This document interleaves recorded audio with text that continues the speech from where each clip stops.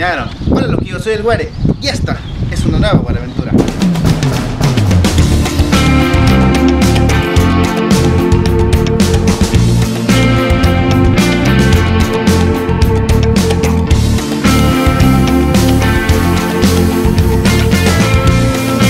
Hola amigos, yo sé que me extrañaron, tiene mucho rato que no subía video. Les quiero contar algo. Hace un año, precisamente acá en Nochistlán, eh, las fuerzas policíacas entraron y muy amablemente le pidieron a los manifestantes que se alejaran, que se quitaran de las carreteras. De aquel lado tenemos un tráiler que fue incendiado y acá, acá también. Ahora, pienso que México es uno de los países que cuando hay una catástrofe o hay algo, un problema grande, todo el pueblo se une. Entonces, hace un año precisamente esto fue lo que pasó. El pueblo se unió y, y combatieron las fuerzas policíacas, pero eso no es algo bueno. ¿Por qué? Porque hubo bajas, hubo muchas situaciones donde realmente resultaron mucho más mal de lo que parecía. En este video les quiero mostrar estas reliquias de guerra, hay que compartirla con el mundo. Quisiera ser de la opinión que quitaran tal vez estas, esto, me pregunto yo por qué no lo quitan. Resulta que no lo quitan porque en el momento de que quiten estos carros que están aquí quemados, el gobierno prácticamente va a ser así como que, ah, ya no pasó nada, se los olvidó y va a seguir haciendo lo mismo. Al parecer estas son las cajas de trailers donde creo que habían pollos acá. Prácticamente se calcinaron. No es agradable de contar porque en la tarde o a los otros días que venías de visita acá a ver cómo había quedado todo esto, veías por todos lados tirados pollos. Uh, así quedó.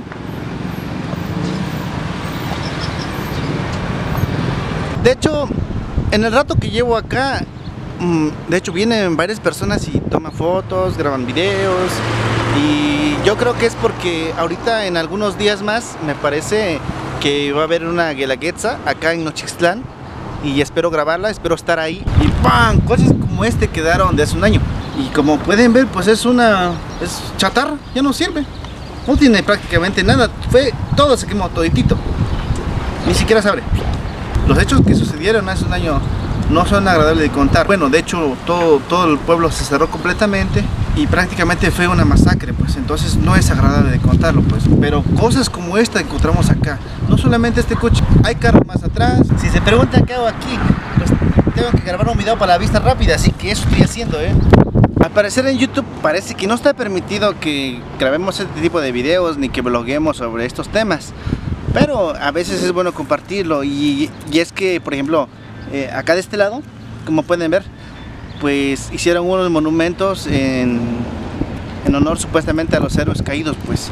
Pero un monumento no va a reponer esa vida, entonces, pues no sé cómo tomarlo, no sé dar mi opinión sobre esto, pero de alguna manera quien mira los videos o quien ve esta situación, pues cada quien puede dar su punto de vista.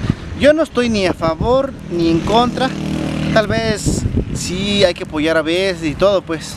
Pero no quiero decir algo más que pueda tal vez afectar los intereses de alguien más. No, si lo comparto es porque prácticamente el gobierno pues oculta todas estas cosas, las televisoras que no dejan que se graben estas situaciones o cosas así. Entonces, de alguna manera el mundo lo tiene que saber y si no lo graba alguien, si no lo sube nadie en la red, pues simplemente nadie se va a enterar. Eh, acá, acá en este lugar, de hecho, hay personas que están cuidando acá estos, estos lugares. Uh, tal vez estos son asientos de los autos que están ahí quemados. Tal vez de los pocos que se pudieron salvar. O parte del auto que se pudo salvar. En representación también está una bandera que ondea como al grito de guerra. Ondea todo el tiempo. Ondea con fervor, ¿eh? Ahorita que venía llegando, estaban unas personas acá, creo que son las que están cuidando acá. Entonces, pues echan su lumbre, pues, pues se echan su plepsia, ¿no es cierto? Sepa qué será eso. Pero eh, de la parte de acá vigilan todo, todo, todo. Digamos, se ve todo, la vista hacia la ciudad y la vista hacia la entrada de la localidad. Ahora les quiero decir que ya fui una de las personas que, que sí vino algunas veces a, aquí a quedarse porque venías durante la noche y pues no había paso. Entonces las personas se quedaban en la carretera, acostadas, traían sus cobijas, eh, y eran muchos, muchos, pues, y daban sus rondines. Entonces, quiero decir que yo sí vine a estos lugares, pues se hizo conocido en Nochitlán porque, digamos, las fuerzas policíacas ocuparon armas de fuego, balas, con las cuales le disparaban a las personas que estaban manifestándose que solamente tenían cohetes y cosas así, pues. Entonces sacaron por ahí la idea de que alguien de acá de los manifestantes estaban como tirando balas hacia los policías. Pues era algo ilógico, ¿no? Algo ilógico y ya después se comprobó que pues no, pues todas las imágenes, todas las imágenes que salieron pues fueron prácticamente de, de los policías disparando, eh, recargando sus armas y pues la prueba está en que hubo varios muertos, pues. Entonces, realmente sí se puso muy feo, muy, muy feo. ¿eh? Este trailer que está aquí quemado dice 19 de junio, no se olvida. La rebeldía es la vida, la sumisión es la muerte. Esta es la pared del panteón y pues está llena de dibujos. ¿Vieron? Se llena de letreros todo el camino. Está otro donde dice 19 de junio, la cuenta pendiente, ojo por ojo. No es un lugar turístico, pero viene mucha gente, viene gente a mirar acá, a tomarse fotos, a tomar fotos, a capturar el momento. Creo que también han hecho como un video de rock, me parece, al parecer. Si eh, lo encuentro en YouTube, se los comparto, se los dejo en la descripción. Nochitlán es un pueblo hermoso que me encanta, me encanta vivir acá, es agradable, la gente es muy amable. Eh, la verdad, me siento muy cómodo aquí en, en Nochistlán. Pero como todas las cosas, no todo es bueno. Hay cosas malas, todo tiene su lado malo. Entonces digamos que este es como su lado triste de Nochistlán. Por ejemplo, ahorita vengo caminando en medio de la carretera. Este era un bulevar. Este era un bulevar y, vengo caminando en medio. ¿Y por qué vengo caminando en medio? Porque están los carros ahí amontonados. Ahí está uno, aquí enfrente están otros.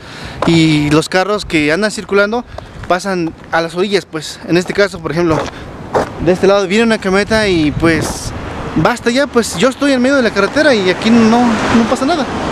Entonces puedes venir muy cómodamente aquí. Bueno, tienes que venir con precaución, ¿no? Porque ya saben que no falta el loco por ahí que ande medio alcoholizado y puede pasar otra situación. Pero sí puedes venir acá y caminar prácticamente en medio. Ahorita que estamos acá, les quiero decir que les voy a dejar em, para acá arriba el video de Nochistlán, video donde cuenta un poco de su historia, de qué significa. Entonces los dejo en la descripción, véanlo, está muy padre, está muy bonito. Bueno, loquillos, este fue mi pequeño recorrido por los lugares tristes de Nochistlán. Em, no tengo palabras que decir porque tal vez algo que diga alguien lo puede tomar a mal o cosas así. Simplemente si hago este video es para compartir cómo es ahora, cómo quedó la situación. Yo lo único que me queda decirles es que es nuestro México, es nuestro país, tenemos que cuidarlo. Pues no me queda decirle que gracias por ver mi video, puedes pasar a mirar los demás videos. Si no estás suscrito a mi canal, puedes suscribirte para mis locuras, para mis aventuras dale like al video y acá en la descripción te dejo también el link del video de Nochitlán donde hablo un poco de, de, qué significa Nochitlán, de cosas que pasan acá, etc. Así que loquillos, pues me despido de ustedes, ya saben, soy el Wari y recuerden, hagan de cada día una nueva aventura. Así que, adiós.